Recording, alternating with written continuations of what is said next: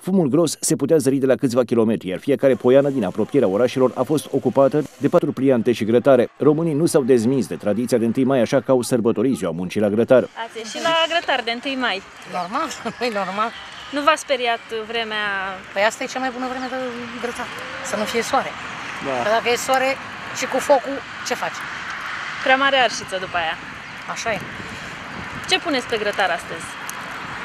De obicei, mici, pasăre, porc și cam atât. Cu ce stropiți micii, friptura?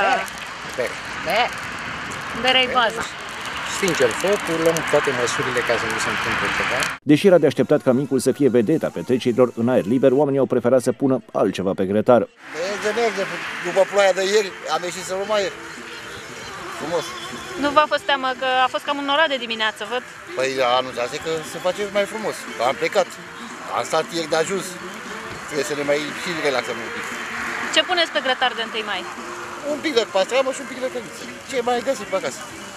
Și tradiționalii mici lipsesc? Lipsesc. Chiar nu am luat. Ce puneți pe grătar astăzi de 1 mai? Un pic de carne de porc, de pui și niște ciupercuți. Tradiționalii mici lipsesc? Nu, micii nu, nu-i punem.